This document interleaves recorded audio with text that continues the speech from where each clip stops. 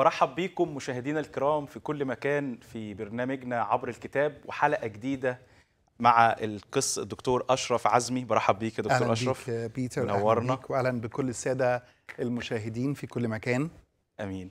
أه بذكركم إنه إحنا كنا الفترة اللي فاتت كانت ذكرى القيامة فكنا فصلنا آه، في ثلاث حلقات تقريبا وكنا بنتكلم آه، عن القيامة.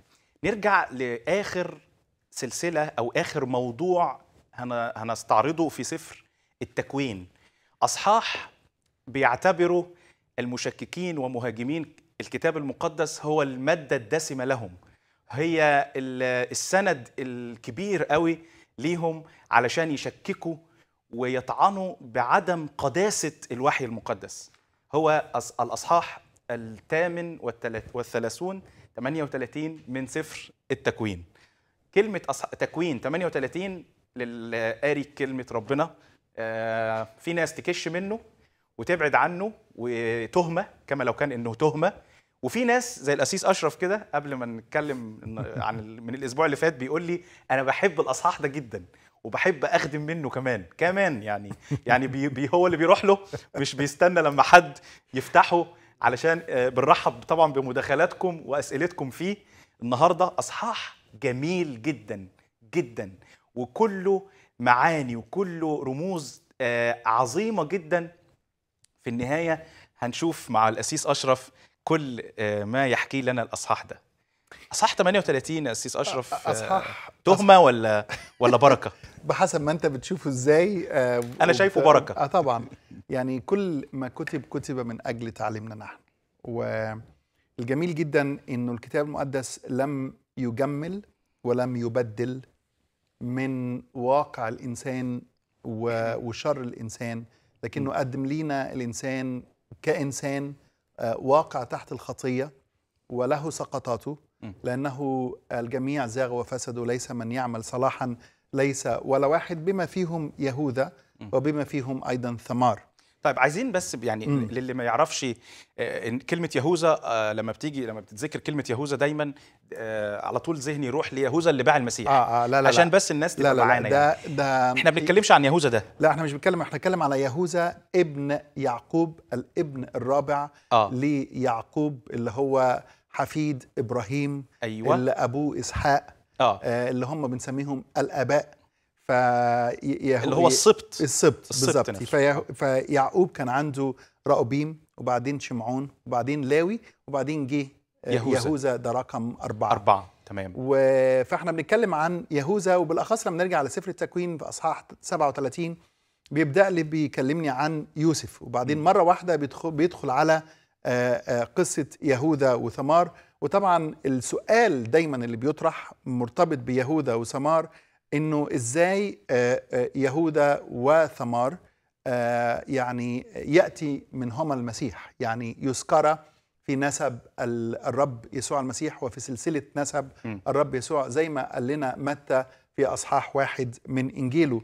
فإزاي اتنين زي دول في نظر الكثيرين هم خطاه وأثمة وزناه وكلام كتير قوي. إزاي الاتنين دول يأتي منهم نسل المسيح طيب ف... آه، زي ما حضرتك قلت لنا مين يهوذا عايزين نعرف برضو بطلة القصة هم اتنين.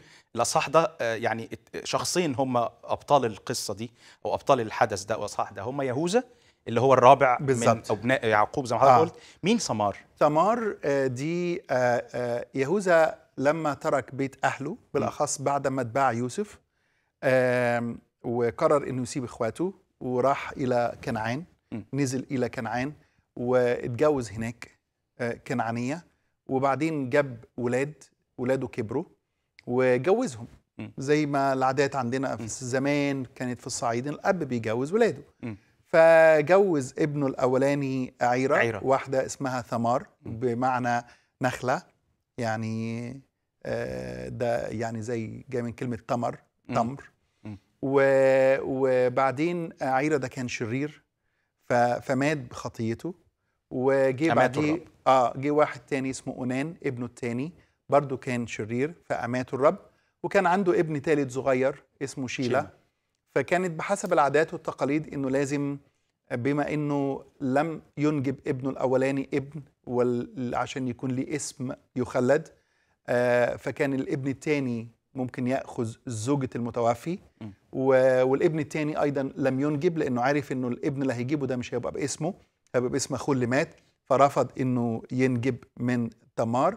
وبعدين بعد كده كان ابنه الصغير شيلة قال لها روح اقعد في بيتك في بيت أهلك. ولما يكبر إن شاء الله الولد الصغير ده أبقى إيه آه، أديهولك آه، آه، زوج. آه، طبعا هو لم يحقق وعده فالقصة هنتكلم عنها بالتفاصيل. تمام. لكن هي النقطة اللي دايما آه، آه، بيتسائل عنها إن هي أخطاء وخطايا ال ال الأنبياء أو أو رجال الله بالظبط دي آه، نقطة مهمة ودي جدا نقطة يعني. دايما المسلم بيطرح عنها. آه، يقول لك شوفوا إذا كانت حياته فيها خطية مم. فبالتالي ممكن يكون اللي كتبه كمان مش معصوم فبيطعن في الوحي وفي عصمة الكتاب المقدس من خلال يعني مثلا ياخد داود ويقول آه داود أهو أخطأ وعمل كذا وكذا وكذا. يبقى أكيد اللي كتبه داود إزاي إنه يبقى محفوظ من الخطية؟ وإزاي الله يستخدم إنسان آه، ساقط أو خاطئ آه، إنه يستخدمه آه، وإزاي الكتاب المقدس يذكر اخطاء الأنبياء وزلات الأنبياء؟ يعني دايما الشبهة دي موجودة. وأنا حابب في البداية قبل ما أتكلم شوية عن يهوذا وعن آه، ثمار. أتكلم شوية عن خطايا الأنبياء وعصمه الكتاب لأنه في كام حقيقة إذا إذا أدركناهم. نقدر إن إحنا يعني ننهي النقاش في الموضوع ده آه، ونقفله. أول حاجة لما بنتكلم عن خطايا الأنبياء. بيأتي سؤال مهم جدا. هل خطايا الأنبياء تسقط عنهم العصمة عند كتابتهم الاسفار يعني داود كتب لنا المزامير. أو كتب لنا ليتس معظم المزامير. فهل هل هل هل سقطت داود في خطيته؟ تسقط عنه العصمه عندما يكتب وعندما كتب المزامير ولا لا؟ هل مثلا آه، آه، سقطت آه، أي حد من من الأنبياء آه، نوح ولا غيره تسقط عنه العصمه عندما يكتب الأسفار النبوية ولا لا؟ لماذا لم يصمت الكتاب المقدس عن ذكر خطايا الأنبياء؟ يعني وعلى فكرة ده دليل على على على إنه اليهود لم يحرفوا الكتاب. ليه؟ لأن أنا أنا لو يهودي وأعرف إنه إنه أنسبائي أو أنبيائي أو آه، أجدادي آه، لو عايز أقدمهم بصورة حلوة هعمل إيه؟ هشيل سقطاتهم. محاسنهم بالظبط وده آه. كان اللي بيعمله المصريين. مم. يعني المصريين في كتابه تاريخهم ما يكتبش الهزائم يكتب بس الانتصارات. لذلك حتى حتى الآن ما حدش قادر يجزم كويس جدا مين فرعون لأنه لأنه هو بيكتب هو بيكتب الانتصارات بتاعته ما. يكتبش الهزائم بتاعته مم. فاذا اذا كان اليهود عايزين يقدموا آه كتاب مقبول عند الناس و... ومحبوب كانوا شالوا كل كانوا شالوا كل الص... وقالوا بقى إنه دي. ناس كاملة وناس بارة وناس لم تفعل خطية وناس كذا وكذا وكانوا جملوا الحقائق دي كلها أو جملوا ال...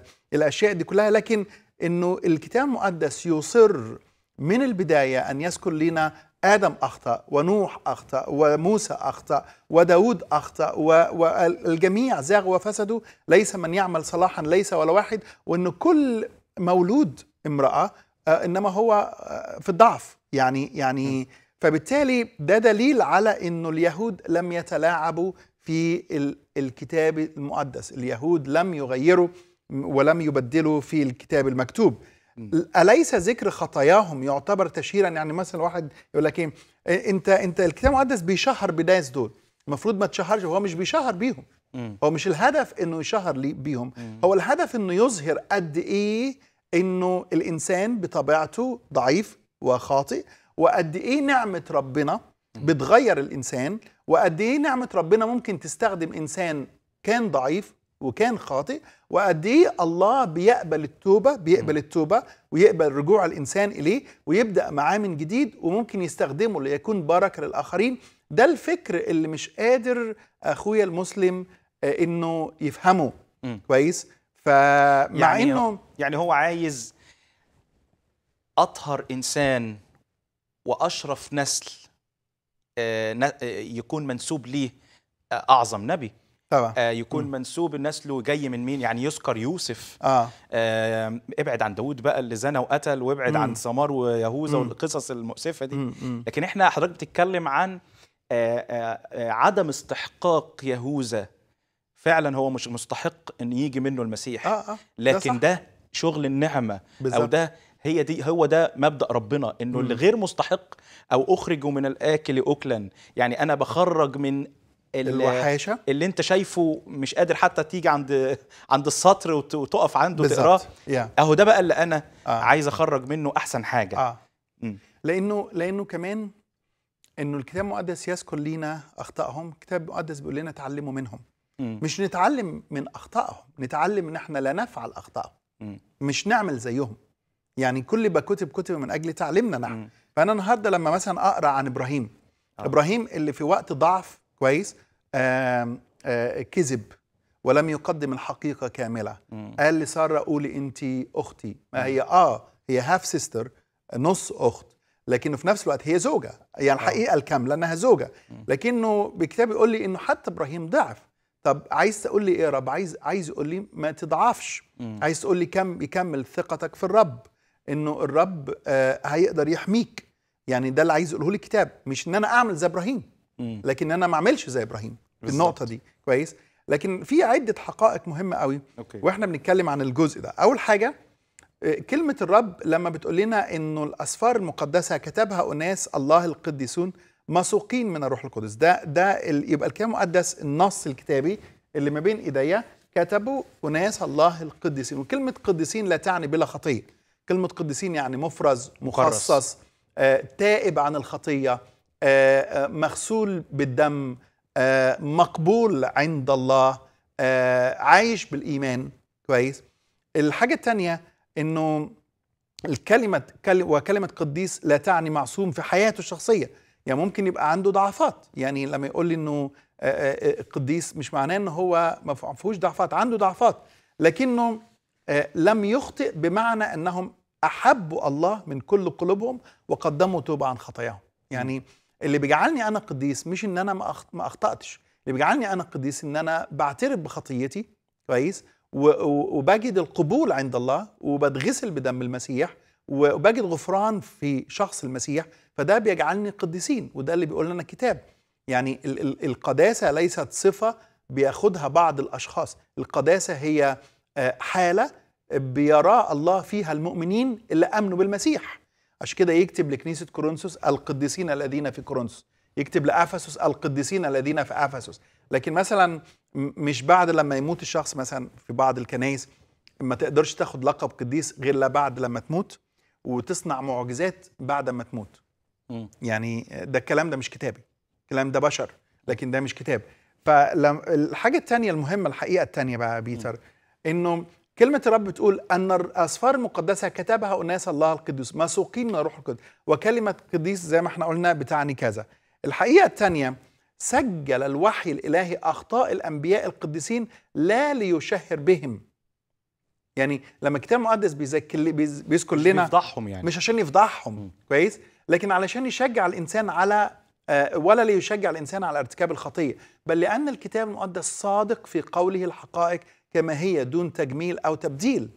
يعني يعني الكتاب ده دليل على صدق الكتاب المقدس إنه لما يقول لي نبي الله زي داود أخطأ ده صدق الكتاب المقدس إنه مش بيجمل الحقائق. بيقول لي آه هو إنسان بحسب قلب الرب لكنه في نفس الوقت هو ضعف وإنه أيضا ربنا عاقبه على خطيته وإنه تاب على الخطية وإنه كان بيبكي و- و- وليلا نهارا على خطاياه وكان يعني مزمور 51 يعني آه، مزمور توبة لداود. قلبا نقيا أخلق فيا يا الله وروحا مستقيما جدد في داخلي. آه، آه، إلى آخر المزمور ده وان اللي بيطلب فيه توبة وبيعترف بخطاياه وبينال حياة جديدة وبداية جديدة. كويس؟ فالكتاب المقدس مش بيجمل لنا أخطاء الأنبياء. الجميع زاغ وفسدوا ليس من يعمل صلاحا ليس ولا واحد. ما حدش عاش على هذه الأرض بدون خطية إلا شخص واحد هو الابن الأزلي المتجسد الذي تجسد في ملء الزمان وهو شخص الرب يسوع المسيح. بما فيهم كل الأنبياء. بما فيهم كل الأنبياء. من الوحيد الذي استطاع أن يتحدى الكل ويقول للكل من منكم يبكتني على خطية هو شخص المسيح له كل المجد. لكي يقول لنا أن المسيح عندما تجسد هو صار إنسانا مثلنا في كل شيء لكنه بلا خطية.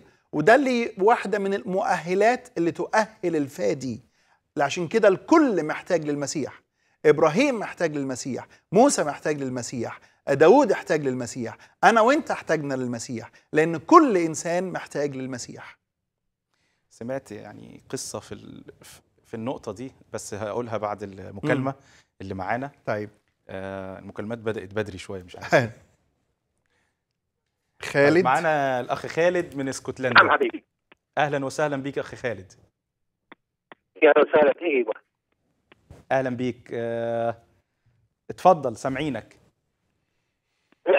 يعني أنا الحين مع مجموعة مظبوط مرحبا. أهلا بيك يا أهلا خالد. وسهلا بك حبيبي. أهلا وسهلا بيك. كويس. سؤالين سؤال عن الكتاب الكتاب بالعهد القديم. أيوه. آه وعندي كمان كتاب عن العهد الجديد. طيب اتفضل. العهد القديم قول لي السؤال بتاعك.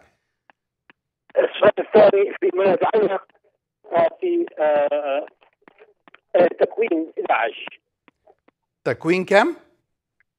11 11 آه. أيوه. آه، الرب كان خايف من إنه بني بني آدم يحتلوا مكانه. آه. فنزل عشان آه، أيوة. عشان آه، آه، آه، آه، عشان يوقفهم آه. ويقلب السنتهم آه. هذا السؤال الأول، السؤال الثاني عن العهد الجديد. لماذا؟ وصل لك أبو آه، طيب. وصل لك يصير المسيح آه. أن آه. كثيرا يضع الفأس على المسيحيين لكونهم لم يضعوا ثمرا جيدا ولم يقيموا في النار. هذا في مكة 13 حيث أنهم مارسوا الجنس في الكنائس بعد تناولهم العشاء أنا أنا الصوت الصوت الأولى. okay الصوت شوية في السؤال الثاني أنا مش قادر 21 okay أنا مش قادر بس آه، آه، القط آه، آه، السؤال الثاني اللي حضرتك بتساله السؤال الثاني موجود فين ممكن توضح لنا يا أخي؟ خالد آه، أخي خالد وضح لنا السؤال الثاني المسيح كثيرا الفأس على المسيحيين لكونهم لم يضعوا ثمارا جيدة ولم يلقيهم في النار يا هذا أيوة. في مكة 13 متى 13 لأنهم مارسوا الجنس في الكنائس بعد تناولهم العشاء الرباني هذا في كورنثوس الأولى 11 21 آه. عندما آه، باب آه، آه، آه، عندما ارتد كثيرا من المسيحيين من الإيمان المسيحي هذا في في آه، فيليبوس الأول أربعة واحد. طيب. آه، أنا أنا برضو مش قادر أجيب السؤال الثاني بس هجاوب على السؤال الأولاني. طيب خلينا نجاوب على آه، السؤال الأول. اتفضل. السؤال الأولاني ال- الأخ خالد. اولا بشكرك شكرا خالد. أخي خالد. بنشكرك على مداخلتك. على اتصالك وهو طبعا بيتكلم على برج بابل وعلى مم. آه اللي حصل في برج بابل. إنه إزاي ربنا في العهد القديم يعني هو آه، بيقول. ربنا آه اتخض وخاف إنه الإنسان بدأ يبني برج رأسه في السماء مم. إلى إلى آخر الأمور دي. فنزل مم. آه خاف على إنه الإنسان يتعدى محضر الله ومكان الله. اولا يا اخ خالد آه آه أول حاجة لازم نعرفها عن الله إن الله روح. و ولأن الله روح فليس آه آه محدود بمكان. يعني يعني آه الله ليس له بداية وليس له نهاية. و و ولا يحد بمكان ولا ولا يحد زمان. بزمان. آه فلما يقول الكتاب إن الله نزل ده تعبير بشري يقول لي على إن الله تدخل إنه الله قام بعمل من أجل إنه يوقف شر الإنسان. وهنا فكرة برج بابل دي كانت فكرة على إنه نصنع لأنفسنا اسما لكي لا نتبدد على وجه الأرض. ودايما كان معروف إنه ال- الأبراج مرتبطة في ذلك الوقت حتى بشعوب كنعان وبالاخص الحضارة ال- ال- البابلية القديمة. وكان في حاجة اسمها الزيجورات اللي هي المباني زي الأهرامات بس آه، يعني متدرجة. آه، كان دايما يعرف إنه عبادة الأوثان على قمة ال- ال- الأماكن دي. فهي هي مكان لعبادة الأوثان. فربنا رأى شر الإنسان وعاقب الإنسان على على خطيته لكن الله لم يهدد من الإنسان لأنه الله آه، آه، لا يهدد من إنسان. ال- ال- الساكن في السماء يضحك. أكيد. زي ما بيقول المزمور الرب يستهزئ بهم. لأنه الإنسان بيفكر إنه بقدرته يستطيع إنه آه، يهدد الله وإنه آه، يصنع أمور آه، ضد مشيئة الله. لكن الساكن في السماء يضحك الرب يستهزئ بهم. وبكلمه واحدة الرب استطاع إنه يبددهم على وجه كل الأرض. فدي بتورينا شر الإنسان وبتورينا أيضا عقاب الله لدينون ودينونته على خطية الإنسان. طيب آه، نرجع لموضوعنا الأساسي وأتمنى إنه المداخلات تكون في نفس الموضوع علشان نحاول نكون جوه الموضوع. آه الجميع زاغوا مم. وفسدوا. الجميع حضرتك قلت بما فيهم كل الأنبياء. لكن هل إحنا قدام شخص يستحق إنه يجي منه المخلص كويس ومن نسله ينسب ليه إحنا عندنا الأصحاح الأول في العهد الجديد مم. أول ما نفتح مم. العهد الجديد كده سمار ومش بس سمار ورحاب مهم. يعني مم. اتنين يعني مفيش. سارة مم. مفيش آه، رحيل مفيش ال- الأسامي النقية النظيفة مم. يعني مم. مم. اللي تشرف لكن ليه الوحي بدأ بأسامي آه، إحنا النهارده بصدد واحدة منهم ثمار. عشان نقدر نفهم الجزء ده هرجع تاني لمن هو يهوذا زي ما قلت. يهوذا هو الابن الرابع ليعقوب من ليئة. تمام. كويس. معنى اسمه جميل جدا. معنى اسمه يعني أحمد الرب. ده معنى اسم يهوذا م. أحمد الرب. آه و آه ثمار آه، قلنا عنها برضو إنها اسم يعني نخلة. مم. وهي زوجة عير بكر يهوذا ولما توفى عير أعطيت زوجة لأخيه أونان الذي مات أيضا بسبب شره. ووعدها يهوذا بأن يعطيها زوجة لابنه الصغير شيلة.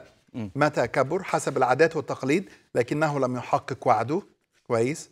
آه قررت ثمار بأن تحقق رغبتها في نسل فرتبت أن تلاقي يهوذا في شكل زانية على الطريق طيب. وقت جز غنمه فدخل النقطة عليها. يهوذا فحبلت فارس وزارع تمام نقف عند نقطة نقف هنا. قبل ما ندخل في أوكي آه، النقطة اللي بعدها.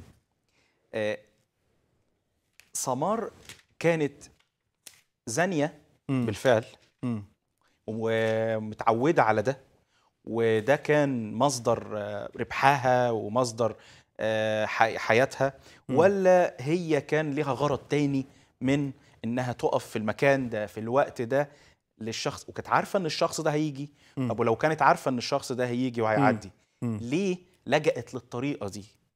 ليه لجأت للأسلوب دوت جميل وكان هل غرضها هو النسل اللي آه. آه. اتحرمت منه من عيرة آه. ومن أونان اللي كان آه. آه. غرض وبس منها هو مم. الشهوة واضح جدا مم. إن أونان الابن الثاني كان عايز يا آه، يشتهيها فقط آه. لا غير وكان أناني يا كان بس عايز لنفسه ياخد النقطة دي أوكي واتحرم من- آه، شيلة مم. لأنه وعدها وخلى وخلى كويس. بالوعد بتاعه مم. فهل إحنا قدام واحدة عايزة نسل اتحرمت من آه، النسل ولا قدام إنسانة آه، بتبحث عن الزنا والربح من الزنا أوكي خلينا أقول عدة حقائق في الموضوع ده قبل ما حضرتك تجاوب. أنا ليه بسأل السؤال ده علشان لما نعرف غرضها ونواياها وغ- وغرضها إيه هنعرف إنه نسل المسيح ما كل ده بيجاوب لنا على السؤال الكبير بتاع Yeah. الحلقة مم. هل المسيح من نسل زناه كويس محترفين الزنا ولا من نسل إنسانة بتبحث عن آه، نسل ولكن في خبايا في الموضوع لازم أوكي. نعرفها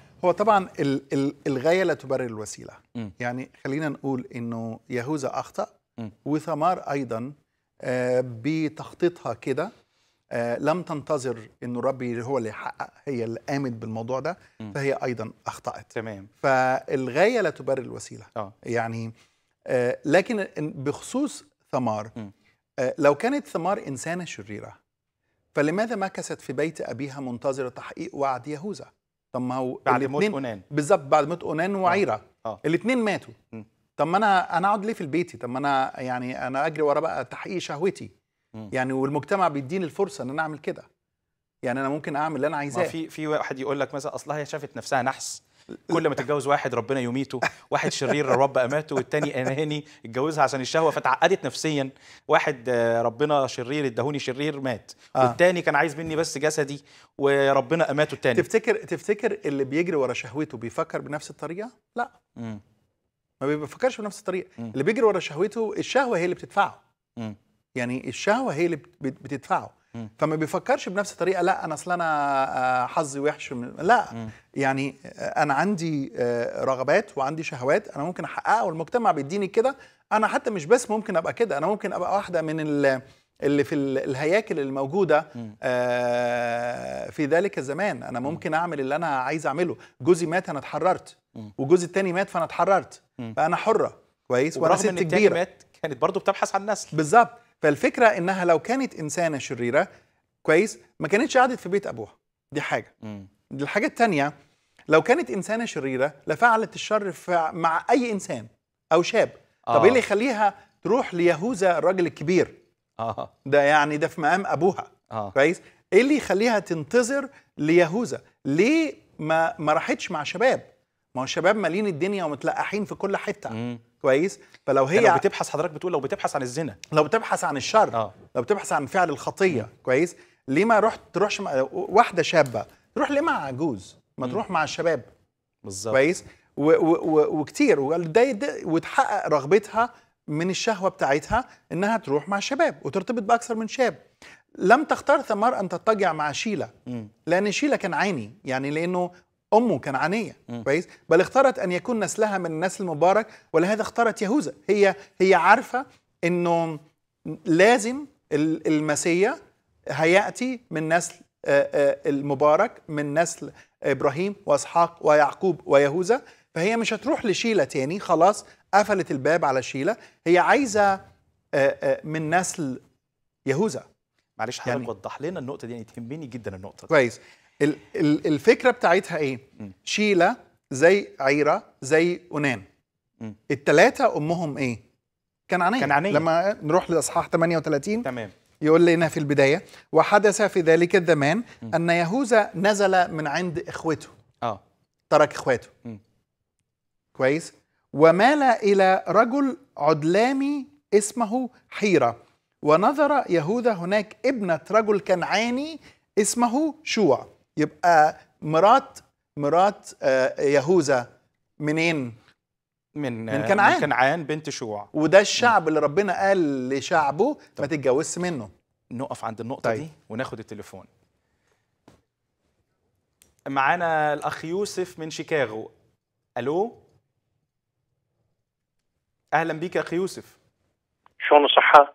أهلا, أهلا بيك. بيك يا أخي يوسف. اتفضل أهلا بيك. شكرا نضع- نرحب بضيفك الكريم. آه، دكتور بالنسبة لي أنا معجب بك هواية وأتابعك هواية يعجبني التحليل العلمي والأدبي للكتاب المقدس يوم اللي أنت تحلله حل أستفاد أنا منه ربنا أنت يخليك. عراقي يا أخي يوسف إي نعم أيوه بالنسبة هذا خالد الموسوي اللي طلع بيك. بالنسبة لخالد الموسوي اللي طلع هذا عراقي آه. من النجف آه. وهذا هواية يتدخل بالقنوات ودائما يطلع أخطاء بالكتاب المقدس اللي هو ما يفهمها مم. وأنت جاوبت سؤال الأول السؤال الثاني ما جاوبته لأن أنا هم أنا ما فهمتون السؤال أه. بس أريد أقول له لخالد الموسوي مم. خالد الموسوي إذا أنت رجل اطلع جاوبني سؤالين بس مم. ما أقول لك الثالث بس سؤالين تصير تصير عراقي ورجل وعندك أخلاق وتربية وشرف اطلع جاوبني واحد روح القرانك عندك سورة الأحزاب آية 52 دا يقول الله مالتك دا يقول للمحمد مالتك. لا يحل لك النساء من بعد ولا أن تبدل بهن من أزواج مم. يعني محمد كان يبدل أزواجه أها. شو السمي اللي يبدل زوجته. واحد. اثنين أنت شيعي أكو عندكم بلندن سماحة الدكتور ياسر الحبيب. هذا بلندن دائما في محاضرات ويطلع بقناة فدك. دا يقول بأحد القنوات أنه عائشة زوجة رسول الله آه. زنت ويا 45 وحدة يذكرهم آه. بالاسماء مم. أرجو أن تقول لي هاي شني الثلاثه السؤال الثالث والأخير اللي ينطيك هو آه. يا خالد الموسوي بس اطلع جاوبني يصير شريف أنه أنتم تقولون محمد أشرف الأنبياء بالنسبة لكم تعتبرون عيسى بسوره النساء 171 آه. كلمة الله وروح الله آه. يعني عيسى كلمة الله وروح الله محمد أشرف من عيسى لأن مم. عيسى نبي بالنسبة لكم مم. محمد أشرف من عنده يعني محمد أشرف من كلمة الله وأشرف من روح الله مم. يعني الله اللي تؤمن به قليل شرف وقليل أخلاق وابن الشارع. تقدر تطلع تجاوبني وأكون شاكر جدا. شكرا. يا أخي يوسف. أخي جدا. يوسف. شكرا ليك. اتفضل آه، دكتور أشرف. طيب. فالفكرة اللي أنا عايز أوصلها إيه؟ طب. التليفون طب تاني؟ ناخد ناخد الأخ طيب، زيتوني صديق. البرنامج. آه الأخ زيتوني. وبعد كده حضرتك تجاوب على شور. ال- آه. الأسئلة كلها. السلام دكتور عزمي اتفضل يا أخي زيتوني. ازي حضرتك؟ ألو. ألو. أهلا بيك. اتفضل. دكتور عزمي أهلا بيك. وضيفك بالله أنا بالمختصر هذا ال- معناتها تكلفني ال- المكالمه كده لا يدخلونني وأنا لا أفهم تقول أنت تقول آه، دكتور عزمي تقول نحن نقول كمسلم نقول بأن الكتاب المقدس محرف اولا ليس نحن الذين نقول بأن الكتاب المقدس محرف مم. فالكتاب المقدس هو هو الذي يقول بأنه محرف آه. كيف ذلك؟ يقول وانت تعلم عندما يحذر الله من شيء. عندما يقول في في عندما يقول لا تزني لا تقتل آه، فهذا يعني ان الله في علم الله بان هناك اناس سيزنون و- لأن هذا في علم الله اسمع وأنا بتحدث والله أنا اتحدث اذا يتكلمون عن القران هذه يعني الموضوع عن الكتاب المقدس أنا لا افهم لماذا يتكلمون يسبون الرسول محمد وع- ماذا لا علينا يقول في التثنيه ماذا يقول؟ اخ زيتوني معلش استاذنك في حاجة. اتحدث بان تاتي أخ- أخ بهذا- زيتوني. اخ زيتوني معلش استسمحك في حاجة. وطي صوتك وأنت بتتكلم عشان يوصل لنا صوتك آه بيور شوية. نقدر ن- ن- نفسر بتقول إيه. مم. به يقول يقول في في ت- آه، تحريف الكتاب المقدس. يقول فالآن اسمع فالآن يا إسرائيل اسمع الفرائض والأحكام التي أنا أعلمكم لتعملوها لكي تحيوا وتدخلوا وتملكوا الأرض التي الرب إله آبائكم يعطيكم. ماذا يقول؟ لا تزيدوا على الكلام الذي أنا أوصيكم به ولا تنقصوا منه. لكي تع... أي ما معنى هذا الكلام؟ أن في علم الله أن هناك أناس سيحرفون الكلام. آية أخرى في إرجع والإصحاح الثامن الآية الثامنة. كيف تقولون نحن حكماء وشريعة الرب معنا حقا؟ إنه إلى الكذب إلى الكذب. حولها قلم الكتبة الكاذب. هذا كتابك مقدس. طب يعترف طيب،. بأنه okay. okay يا دكتور عزمي آه، خلينا ارد عليك. خلينا ارد عليك. طيب. خلينا أرد عليك. اتفضل يا دكتور. يعني اولا أنا بشكرك. نبدأ بالأخ زيتوني ولا- آه نبدأ. مع الأخ يوسف قال الأسئلة آه. وتركها للأخ خالد وعايزه يرد عليها. آه يعني ال- الأخ يوسف قال أسئلة للأخ خالد وده موضوعه هو. طيب. ومنتظرين الأخ خالد يرد على الاسئله اللي طرحها أخونا يوسف من شيكاغو. okay. إنما الأخ زيتوني okay اتفضل. بيقول بما إنه في تحذير في الكتاب المقدس. دي ده المنطق. مم. كويس؟ بما إنه في تحذير من إنه أوعى تزيد عليها أوعى تغير منها يبقى الله عالم في علمه السابق إنه اليهود هيعملوا كده. طيب ده- ده المنطق. الأخ غالب قبل ما آه، نجاوب على الأخ زيتوني هتخليني اجاوب ولا ه... ما هو غصب عني في ال control. طيب ماشي يعني- خلاص okay. أنا بس مش عايز طيب, أنسى طيب خلاص ممكن نجاوب الأول على السؤال. طيب. أوكي اتفضل. يا أخي زيتوني التحذير ليس معناه وقوع الفعل. التحذير هو لعدم وقوع الفعل.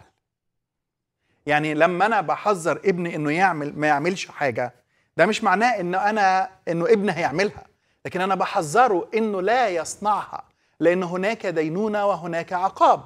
فكيف لله الذي يعطي الوصايا ويعطي الشريعة لا يحفظ يح- يحذر؟ أي واحد يحذر دون أن يحامي ويدافع عن ما آه، أعلنه يبقى سوري الله ضعيف. وإحنا لا نعبد إلها ضعيف. الله الذي أعطى الوصايا وأعطى الكلمة وأعطى الأنبياء أن يتكلموا بكلامه وكتب لنا الأسفار المقدسة. زي ما هو قوي في تحذيره هو أيضا استطاع أن يحافظ على الكلمة دون أن يتلاعب بها اليهود. وأنا قلت لك يا أخي زيتوني قبل كده هات لي نص اثبت لي إنه اليهود حرفوا شيء اثبته لي. هات لي مخطوطة قديمة أو أي حاجة قول لي اليهود غيروا دي وجابوا الكلمة دي بدل الكلمة دي. قول لي غيروا السفر ده بدل السفر ده. قول لي اليهود عملوا إيه؟ هل غيروا وبدلوا إيه إيه الإثبات اللي عندك اللي بتقدمه؟ أنت بتبني المنطق بتاعك على تحذير والتحذير ممكن يثبت ولا ينفي. يثبت إن ال ال ال الكلمة حفظت وما ينفيش ابدا إنه حقيقة إنه الكلمة آه، استمرت على مر السنين والقرون والأجيال كما هي لأن الله حافظ على كلمته هو قال كده إلى أن تزول السماء والأرض لا يزول حرف واحد أو كلمة واحدة من المكتوب. وإنه إنه أي إنسان يزيد أو ينقص إنه يحذف الله اسمه من سفر الحياة. فإذا كان الله قادر إنه يدين الإنسان أليس قادر إنه يحفظ لنا الكلمة التي أعطاها دون تبديل أو تغيير؟ المنطق يا اخ زيتوني اللي أنت بتناقش بيه منطق مغلوط وأعتقد إنه ال ال ده يجي في صف الكتاب وليس ضد الكتاب. أوكي. آه هناخد مكالمة تاني. ألو؟ ألو؟ ألو؟ ألو مرحبا أهلا وسهلا بيك. تحياتي لكم. أنا وللدكتور آه، طبعا أنا في لي تعليق وفي آه، بالنسبة للموضوع الحلقة. أو التوبة يعني ال- الخطا ال- الخطايا اللي ارتكبوها الأنبياء أو في العهد القديم أو حتى في العهد الجديد. الهدف الهدف ال- الأساسي والمهم المفروض نعرفه إنه صحيح هم في أخطأوا. خاصة في العهد القديم وفي زنا وفي كذا. لكن يعني الأعداء المسيحيين بدهم يمسكوا الممسك على أساس إنه هذا الشيء آه، يعني ممسك على المسيحيين. انه شوف أنتم انبياءكم أو ال- الناس اللي بيجي بعضهم من من خطاه هذا الشيء لا يغير. بالعكس هم كانوا اخطاوا لكن أصبحوا بعدين فيما بعد قديسين. يعني ما أخطأوا تابوا. المهم صح. عدم رجوع الخطيه والتوبة. فاللي تابوا طبعا هذا اللي بده اياه الرب انك. أنت ترفض الخطية وما ترجع لها مرة ثانية. الرب أكيد في حتى القديسين ألو؟ ما رجعوا للخطيه آه. فهذا هو الهدف الأساسي إنه آه، يعني إنه مش إنه نعيد بالعكس. إنه بس الإنسان أصبح آه، متقرب جدا مع الله لأنه الذي آه، يخطئ أكثر يحب الله أكثر لأنه بالضبط. ربنا يعرف إنه غفر له وبالتالي أعطاه بركه النعمة صح فما مش ممكن إنه الرب يعني إنه والله يجيب ناس خطاة ويظلهم مستمرين بالخط- بالخطية بالعكس يقدر يعاقبهم حتى يرجعوا حتى داود النبي. لما اخطا. وكتب المزامير كانت من أجمل المزامير. اللي هي بعد ما وقع بالخطية صح إنه كيف الله. أخطأ له ما رجع للخطية ابدا مم. بالتأكيد اتفق. معاك فعلا نقطة مهمة جدا إنه. التوبة التوبة. وده الجزء اللي أنا عايز أتكلم عنه في أوكي. حياة آه، حضرتك آه، كنت بت... بتقرأ في أول أعداد من آه، من اصحاح إنه إنه هو 38. تزوج تزوج امرأة كنعانية مم. وتزوجه بامرأة كنعانية هو هو كسر الوصية الإلهية لأنه فاكر إبراهيم لما حب يزوج إسحاق وبعت عبده كبير بيته قال له لا تأخذ زوجة لابني من الكنعانيات مم. تروح إلى آه، حران وتجيب زوجة لإسحاق. يعني ده كسر الوصية يعتبر. بالظبط. لما اسحاق لما إسحاق حب يوصي يعقوب وهو ماشي قال له يا ابني ما تتجوزش من الكنعانيات. روح إلى خالك لبان وهناك إيه آه آه تزوج من هناك. ففكرة إنه يرتبط بالنسل لأنه لأنه نسل كنعان بسبب شره واثامه وخطاياه هو وقع تحت اللعنة. مم. فمش ممكن ابدا إنه إنه من هذا النسل يأتي المسيح. لابد أن يأتي من النسل المبارك. مم. يعني في نسل المرأة وفي نسل الحية. مم. لما اتكلمنا عن سفر التكوين. فهناك أناس يمثلوا الحية بشر بالشر والخطية وهناك نسل المرأة اللي هو وعد منه إنه يأتي منه المسيح. عشان كده اختار إبراهيم وإسحاق ويعقوب ومنهم أتى أتى الرب يسوع المسيح. اللي بأكد عليه أسيس أشرف هل ثمار كانت عايزة نسل؟ آه ده الغرض طيب الأساسي ليها. كويس. خليني آخد الأول آه، جزء مهم قوي لأنها سألت يهوذا سؤال مهم. آه. قالت له هتديني إيه؟ امم طيب ده واحدة صح. بتسأل على المقابل. يبقى هي عايزة تاخد مقابل قصاد اللي هديهولك. آه. فناخد تليفون قبل ما حضرتك ت- معلش. طيب اتفضل. الأخ دوري من. لبنان. أهلا وسهلا. أهلا بيك. اتفضل يا أخي دوري. مساء الخير لك مساء لضيفك النور أهلا مساء بيك النور. آه، بالحقيقة شوي الموضوع طلع نفسي عن حده لأنه آه، يعني اختلط الموضوع شوي. على العموم آه، الحبب آه، المداخله البسيطة والصغيرة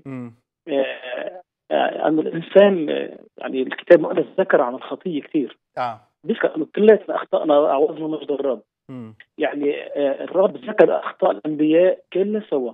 يا يعني ممكن أحباء المسلمين يقول لك لك النبي فلان خطئ والنبي فلان خطئ كل الأنبياء ال- الوحي المقدس ذكر. ليس أحد منزه إلا فقط الرب يسوع المسيح. بالظبط دي حقيقة. إيه، حتى حتى النسل حتى من بداية التكوين حتى آه. لليوم.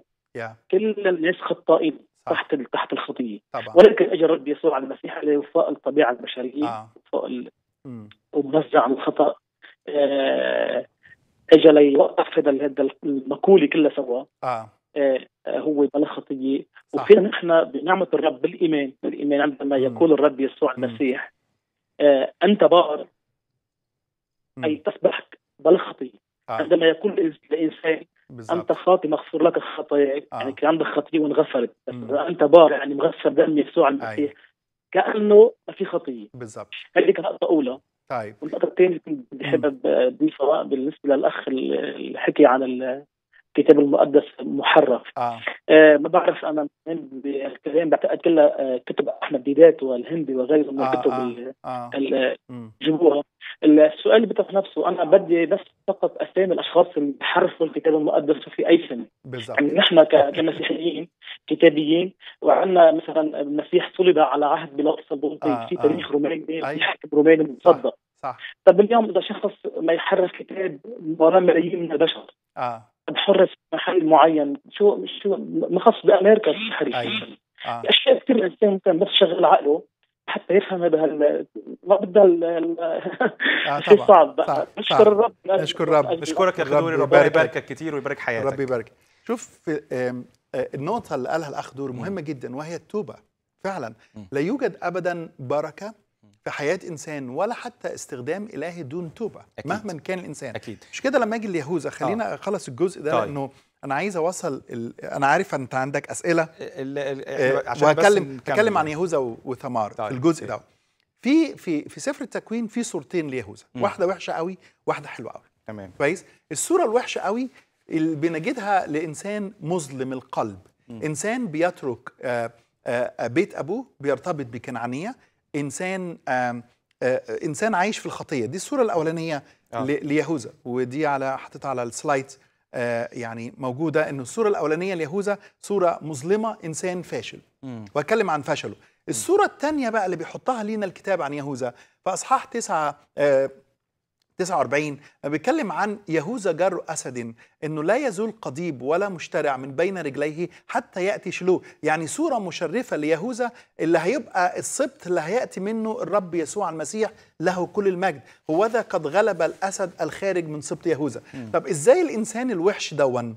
ها؟ يبقى الإنسان الحلو ده. إزاي من إنسان وحش فاشل روحيا واجتماعيا يأتي منه المسيح؟ وأخلاقياً. هل هل هل الله هل الله يتغاضى عن خطاياه؟ هل الله آه، يقبله بدون توبة؟ ده الجزء المهم اللي بنشوفه في في القصة. الصورة الأولى زي ما قلت صوره إنسان مظلم الفكر فاشل. يهوذا روحيا كان ضايع نهائي. ضايع جدا. من ناحية نازلة. كلمة نازلة دايما لما تستخدم في الكتاب المقدس تعني انحدار. يقول لك ونزل يعقوب ونزل إبراهيم إلى مصر. كويس؟ انحدر يا في كل نزول دايما في في, كارثة. في انحدار في آه، كارثة. أيوة. نزل. أو ترك بي ترك بيت اهله ترك أرض كنعان ترك باباه ترك البيت ال- ال- ال- ال- ال- اللي هو العهد مع ربنا. ومال يميل إلى رجل كنعاني. يعني راح وارتبط بالكنعانيين. اللي هي الوصية الكتابية بتقول له ما تعملهاش راح وعملها. كويس؟ دي حاجة.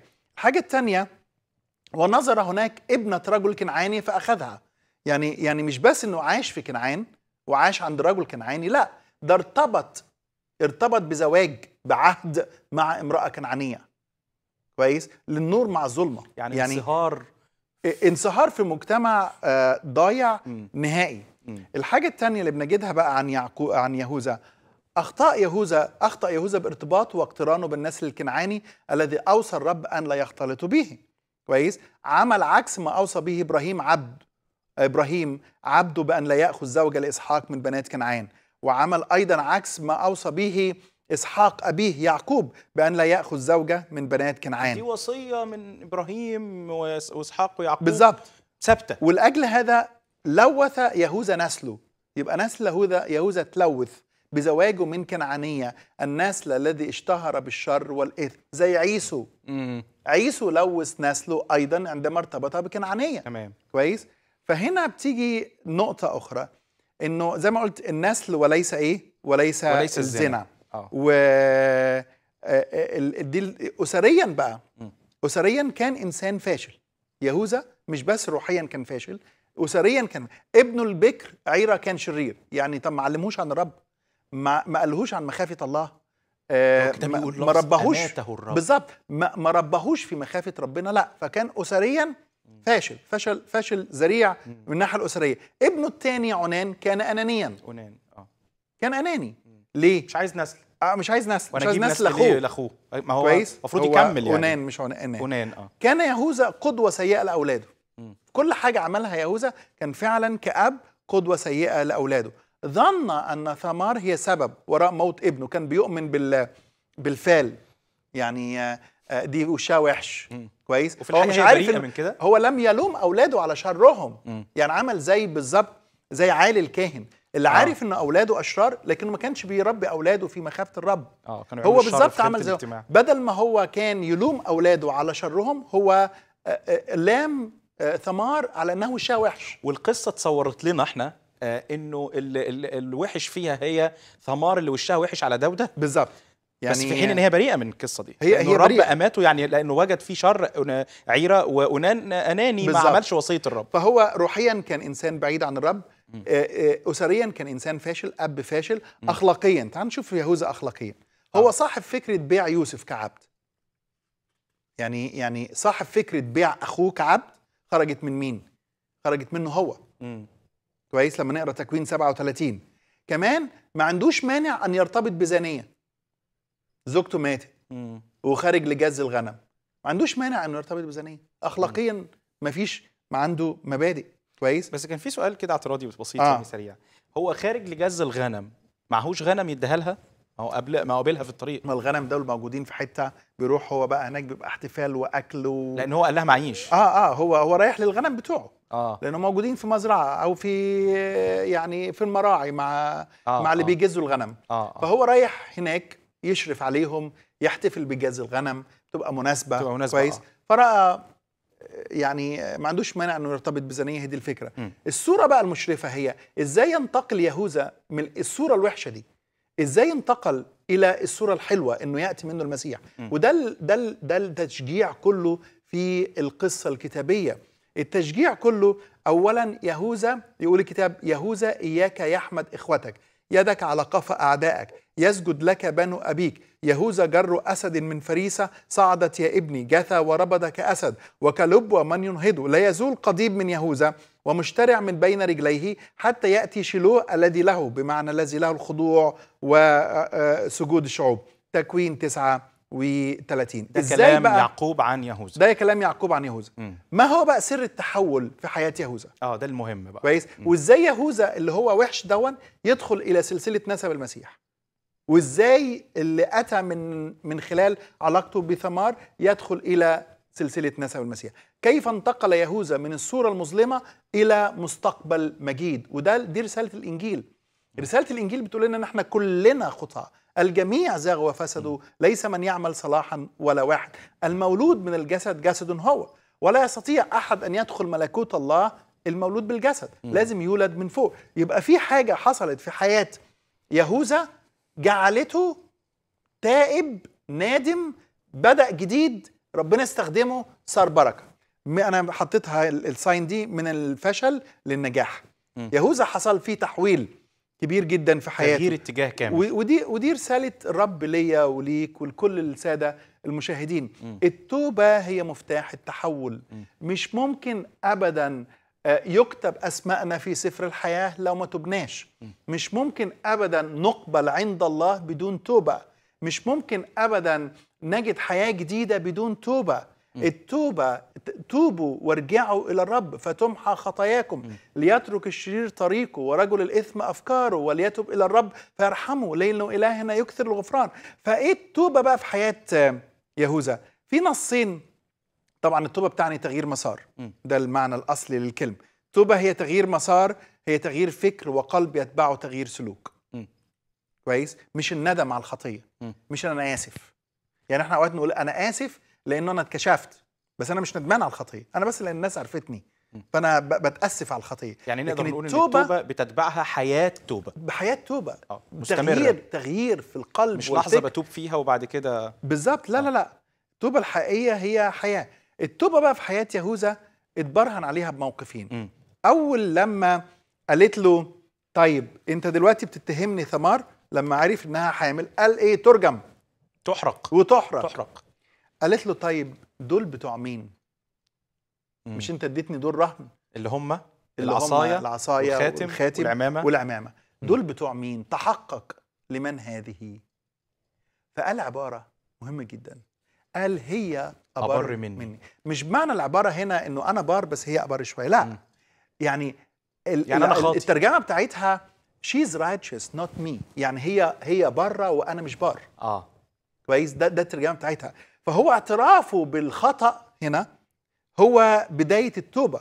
مم. إنه أدرك إنه إنسان خاطي وإنه آه، أخطأ. مم. كويس؟ فدي كانت بداية التوبة في حياة في حياة إيه؟ في حياة يهوذا. الحاجة الثانية اللي حصلت في حياة يهوذا. التوبة في حياة يهوذا أيضا. فاكر لما آه، آه، نزل حصلت المجاعة ونزل بقى إلى مصر ويوسف كان اوريدي اتباع وصار الرجل الثاني في مصر. ويعقوب قال لهم انزلوا إحنا لازم نعيش هاتوا لنا أكل وخبز و- وقمح من مصر. فنزلوا.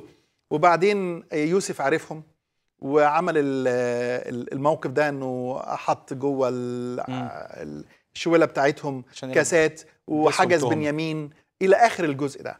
فهو قال عبارة قال إيه؟ لما جه قدام يوسف قال له الله قد وجد إثم عبيدك. يا إحنا بنخبي خطايانا بقالنا 20 سنة. مخبيينها أو أكتر من 20 سنة. إحنا ساطرين إن إحنا إحنا بنحاول ننسى إن إحنا أساء اسانا إلى أخونا. بنحاول ننسى إن إحنا اسانا إلى أبونا. بنحاول ننسى خطايانا إن إحنا بعنا أخونا كعبد وجرحنا قلب أبونا اللي بيبكي عليه من ساعة لما ضاع. اليوم الرب وجد إثم عبيدك. بمعنى مهما حاولنا نخبي خطايانا مش ممكن ابدا خطايانا تستخبى. هيجي وقت وهتطلع. الطريقة الوحيدة إنك تعترف بالخطية. إنه إن اعتر- إنه إنه إذا اعترفنا بخطايانا فهو أمين وعادل حتى يغفر لنا خطايانا ويطهرنا من كل إثم. أجي لجزء آخر بقى، طب هل التوبة دي في حياة يهوذا كانت توبة حقيقية؟ كويس؟ لازم يبقى و- ليها مظاهر أو علامات تؤكد أول. حاجة. أول علامة من علاماته أصبح يخاف على يعقوب. لما باع يوسف ما كانش خايف على يعقوب. طب. طب يهوذا خاف على أبوك لا لا إحنا نبيعه نبيعه كعبد طب انت ما فكرتش في مشاعر أبوك يعقوب لا إحنا نعمل عليه تمثيلية إحنا نجيب عيج آه sorry آه شاه ونذبحها هو ونجيب. بالظبط ونجيب ال... ال... ال... ال... الرو... ال... الثوب بتاعه هو كويس؟ تأليف هو القصة صح دي. آه ون... ون... ونعمل كده ونروح نقول له إيه إلحق تحقق مش دوت الثوب بتاع آه ابنك آه يوسف. ونضحك عليه مم. نضحك عليه إنما هنا هو قال قال ليو- ليوسف إيه لما خد بنيامين قال له قال له خدني أنا مكان بنيامين. طب أنت ليه بتعمل كده؟ أنا خايف على أبويا. إنه أصبح عنده خوف على على يعقوب آه، أبيه. خوفه على بنيامين. حط نفسه مكان بنيامين. آه. قال له خدني أنا مكان بنيامين. قبل كده لا خد يوسف. بيعوه. إنما ال- التوبة الحقيقية جعلته يضع نفسه بدل إخواته. استعداده للتضحيه للتضحية. كان مستعد أن يضحي بحريته يسجن يتحبس في مصر في سبيل إنه أخوه بنيامين يطلع حر. كويس؟ اتعلم هل يهوذا هل حادثة يهوذا مع ثمار وال- واللي حصل مم. كان نقطة تحول في حياة يهوذا للرجوع ومن وقتها من إصحاح 38 بنتكلم والآية اللي حضرتك ذكرتها اللي هي المحورية الثانية في حياة التوبة في حياة يهوذا اللي هي في تكوين 44 مم. آه، اللي هي, آه، هي الله قد وجد إثم عبيدك عبيدك هل من بعد موقف ثمار ولما عرف إنه هو شرير أو هو خاطي هل ده كان نقطة تحول في حياته ليصير هذا الرجل بالظبط اللي إحنا بالظبط. بنحكي عنه بالظبط هي دي نقطة تحول ليه؟ لأنه التوبة وجدت قبول عند الله والله لأنه طويل الروح وكثير الرحمة بيقبل الإنسان التائب ودي ودي ودي نعمة ربنا ودي رسالة الكتاب المقدس إنه إنه إنه إنه الإنسان اللي بيجي تائب مهما كانت خطاياه يعني دم يسوع المسيح ابنه يحررنا من كل خطية طب يحرر مين؟ يحرر الزاني؟ آه طب يحرر الإنسان القاتل؟ آه طب يحرر الإنسان الوحش؟ آه المسيح المسيح المسيح غفر للمرأة ال- ال- الزانية وقال لها اذهبي وأنا لا أدينك. واتغيرت حياتها. مريم المجدلية كان عليها شياطين. ويقول الكتاب أنها أحبت كثيرا لأنها غفرت خطاياها الكثيرة. طب بولس ده بولس كان مضطهد للكنيسة. بولس كان بيحاول يقبض على المؤمنين ويحطهم في سجون ويعذبهم. ولما تاب ورجع صار بولس اللي بيضع نفسه من أجل المسيح ومن أجل الكنيسة. طب بطرس بطرس اللي أنكر المسيح مرة واثنين وثلاثة صح ولا لأ؟ ومش بس أنكر المسيح قدام ناس عظماء ده أنكره قدام جارية حتى. طيب بطرس ده لما بكى بكاء مرا وتاب على خطيته صار الرسول بطرس اللي بيستخدم من الله. كل القديسين اللي ربنا استخدمهم ها؟ كل القديسين اللي ربنا استخدمهم كانوا خطاة وتابوا عن خطاياهم.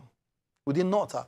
أنا ممكن أبقى زي يهوذا بس إذا كنت ربنا النهاردة مديني يوم أحيا فأنا عندي فرصة إن أنا أبقى يهوذا الحلو وإن آه. أنا أترك خطاياي وأعود للرب وشوف رحاب رحاب دي كانت زانية مم. دخلت سلسلة نسب المسيح ليه؟ مم. لأنها آمنت مم.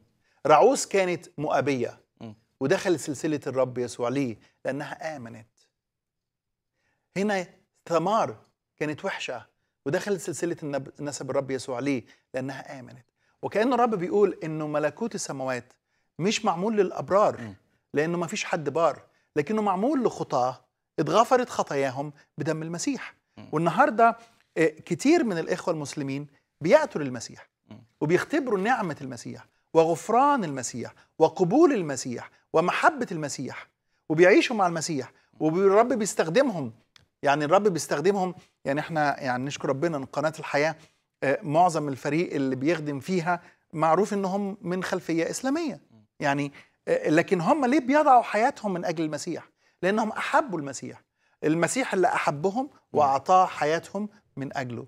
ودي أمين. الرسالة اللي بيقدمها لنا الرب من خلال يهوذا وثمار. أمين. بشكرك يا دكتور أشرف على الرسالة الجميلة.